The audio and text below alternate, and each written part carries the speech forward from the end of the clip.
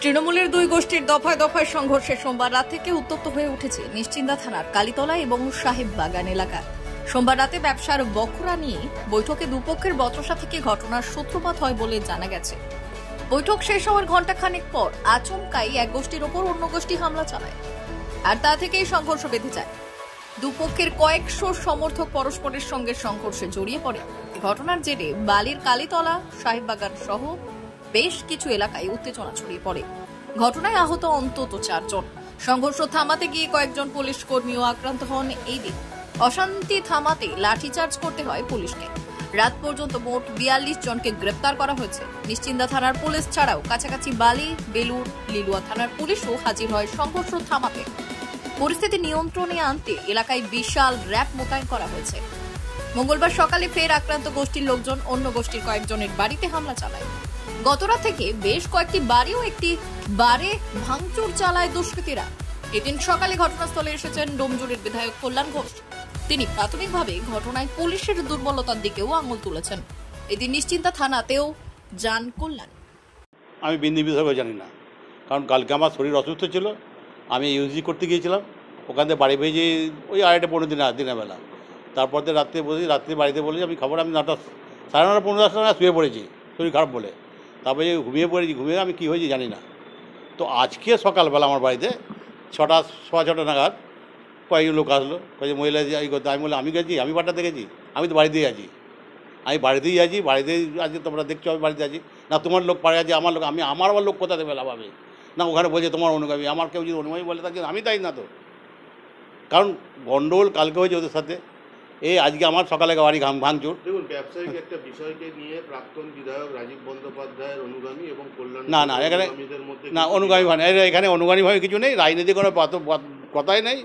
এখানে রাজীব বাবুর অনুগামী বলে কথা নেই কল্যাণবাবুর কল্যাণবাবু বলে কোনো কথা নেই। যারা এক মিনিট এক মিনিট। যারা গন্ডগোল করেছে তারাও তৃণমূলের। আর যারা গন্ডগোল অ্যাসল্টেড মারপিট। তারাও তৃণমূলের এখানে কোনো অন্য কোনো জাত নেই। নিজেদের মধ্যে। এটা। এটা গোষ্ঠী না গোষ্ঠী না। এটা হচ্ছে মেইনলি ব্যাপারটা হচ্ছে এটা ফ্যামিলি ম্যাটার হয়ে দাঁড়িয়ে আছে। কারণ অসিত গায়ন হচ্ছে আমি ষষ্ঠী গায়ন আমার আপন ভাই আর খোকন গায়ন হচ্ছে আমার কাকার ছেলে জারতুতো ভাই। এই হচ্ছে। এটা একটা ব্যবসায়ী সংক্রান্ত ঝামেলা। ফর দীর্ঘদিনের এটা। দু হাজার আঠেরো সাল থেকে ঝামেলা চলছে। আজকে না। রাজনীতির রং লাগেই নেই এখন রাজনীতি যদি রং লাগে তাদের ব্যাপার আমরা জানি না। রাজনীতিক কোনো রং নেই। কারণ এবারে দু হাজার তেইশের পঞ্চায়েত নির্বাচনে কারণ আমাদের আমাকে প্রার্থী করে করেনি আমি কোনো দাবিও করিনি আমি কোনো ক্ষোভ বিক্ষোভ জানাইনি আমি কোনো গোজ প্রার্থী হয়ে দাঁড়াইনি। আমি আমার মধ্যে রেখেছি। কোথাও হ্যাঁ, না গোজ প্রার্থী তাদের হয়। এবার যাদের প্রার্থী তারা যারা নির্দল দাঁড়িয়েছে দল তাদের অ্যাকশন নিয়েছে দল তাদের সাসপেন্ড করেছে এবার দলের ব্যাপার তাদের আমার ব্যাপার না। মূলত গতকাল যাদের হ্যাঁ। বিবাদ খোকন গানের নামেই তো অভিযোগের আঙুলটা না অভিযোগ কেউ কেউ করবে তার ব্যাপার। এখন ব্যাপার যে এই গন্ডলটা হয়েছে এই গন্ডলটা হওয়া কাঙ্ক্ষিত না। এটাকে আমরা সমর্থন করি না।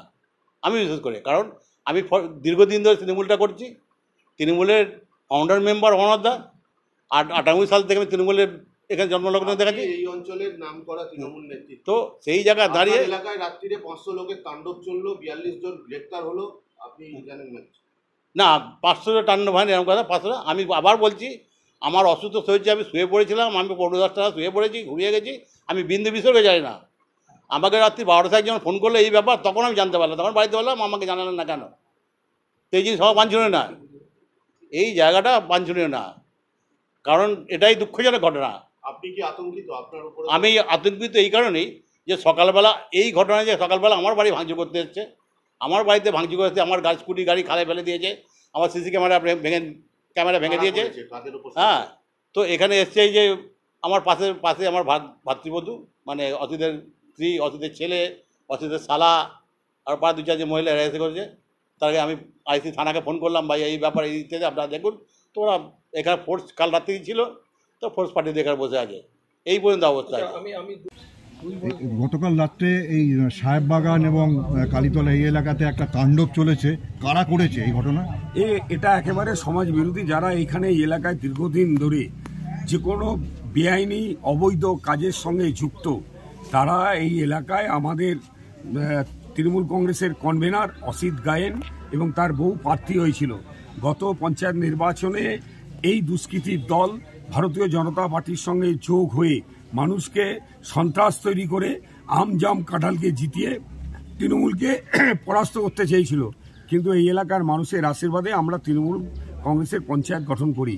সেই যন্ত্রণা থেকে এই এলাকাকে দখল করার জন্য এবং আমাদের কনভেনার অসিত গায়েনদের, আমাদের যারা এই মলয় দত্ত থেকে আরম্ভ করে যারা আমাদের তৃণমূলের লোক আছে, তারা এই বেআইনি কার্যকলাপ অসামাজিক কার্যকলাপের বিরুদ্ধে তারা প্রতিবাদ করার জন্য এবং বিভিন্ন সময় এই এলাকার ছোট ছোট ব্যবসায়ী থেকে বড় ব্যবসায়ী কাউকে তোলাবাজি যে ব্যবস্থা সেই ব্যবস্থার বিরুদ্ধে রুখে দাঁড়ানোর জন্য আজকে এই সন্ত্রাসের তাণ্ডব। এটা কি রাজনৈতিক আক্রমণ? এই তৃণমূলের ওপরে? এটা রাজনৈতিক শুধু নয় এটা অসামাজিক লোকেরা দুষ্কৃতীরা যারা তৃণমূল কংগ্রেসকে এখানে পর্যদুস্ত করে এই এলাকায় তাদের রাজত্ব কায়েম করার চেষ্টা করছে। আমি প্রশাসনকে ব্যবস্থা নিতে বলেছি। একদম কোনো রকম এখানে এই এলাকায় বেআইনি কার্যকলাপ যেগুলো আছে ইমিডিয়েট বন্ধ করতে হবে। কতজন আহত হয়েছে জখম হয়েছে? আহত অসিত গায়নদের বাড়িতে এবং অসিত গায়নের হোটেলের স্টাফ নিয়ে ওখানে চার পাঁচজন। এখানে তো দেখলাম একটি বাচ্চা মেয়ে যে পড়াশোনা সবে শেষ করতে চলেছে মানে গ্র্যাজুয়েশন কমপ্লিট করছে।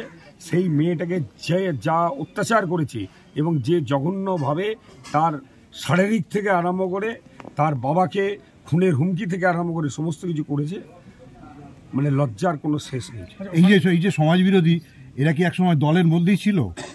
না দলের কোনো পদাধিকারী ছিল না। দলের পদাধিকারী বলে সেই দলের কেউ ছিল এরম এরমভাবে বলাটা ঠিক নয়।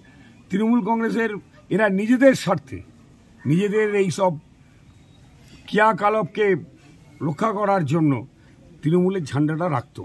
এবং তৎকালীন যিনি এই এলাকায় বিধায়ক ছিলেন তার শেল্টারে থাকতো। তা ভাবছে যে এখনও বোধহয় সেই অসামাজিক কার্যকলাপ চলবে। আমি খুব পরিষ্কারভাবে বলছি, আমার কেন্দ্রের যে কোনো জায়গায় কোনো এই সন্ত্রাস, এই অবৈধ কার্যকলাপ, অসামাজিক কার্যকলাপ প্রশাসন মারফত বন্ধ করতেই হবে। দু হাজার কুড়ি একুশ সালে গোটা ডোমজুর বিধানসভা এলাকাতে নানান রকমভাবে দাদার বাহিনী, দাদার ইত্যাদি বলে একটা প্রচার হয়েছে এবং তারপরে আমরা দেখেছি যে তৃণমূলের সঙ্গে গদ্দারির অভিযোগ উঠেছে। এবং গদ্দার বলে অনেককে চিহ্নিত করা হয়েছে। এর পেছনে কি গদ্দারদের হাত আছে মনে হয়? দেখুন, একটা খুব পরিষ্কার কথা বলি। সমাজ বিরোধীদের কোনো তকমা থাকে না। তারা সবসময় চেষ্টা করে যে ক্ষমতায় কারা আছে তাদের সঙ্গে নেগোসিয়েশন করে বা উপরতলায় কোনো কাউ কাউ পেছনে থেকে যদি এটা করা যায়। এখানে সমাজ বিরোধীদের কোনো সংজ্ঞা নেই। এখানে গদ্দার টদ্দার বেড়া- সমাজ বিরোধীরা সবসময় গদ্দার হয়।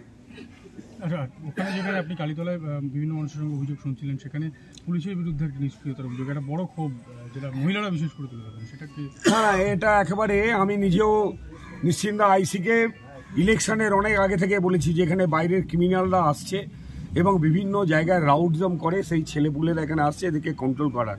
আমি তো আজকে দেখলাম যে নিশ্চিন্দার আইসি জানেই না যে ওই যে ঠেকটায় কয়েকশো ছেলেকে রেখে মদ মাংস এবং একটা যেন মনে বিরাট ধাবা ভেতরে তৈরি করে ওই এলাকায় সন্ত্রাস তৈরি করে সেটা আজকে নিশ্চিন্দার আইসি প্রথম যেন দেখল।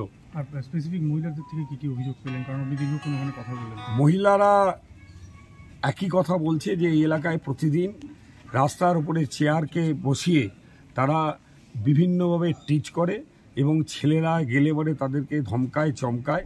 এই এলাকার অবৈধ কাজ যাতে তাদের খুব সুবিধা মতো করা যায় সেই ব্যবস্থা তারা তৈরি করে। এই এই এলাকাতে যে এই এতদিন ধরে সমাজ বিরোধীদের এই সমস্ত কার্যকলাপ চলছে একটা পুলিশি ব্যর্থতা আছে? দেখুন পুলিশ হয়তো সবসময় সে মানে নজর রেখেছে কিন্তু এরা তো রাতের বেলায় করে এই আছে এই নেই। স্বাভাবিকভাবে পুলিশেরও একটু কষ্টের ব্যাপার তবে এবার থেকে আমি আশা করছি পুলিশ তার যথাযথ ব্যবস্থা নেবে।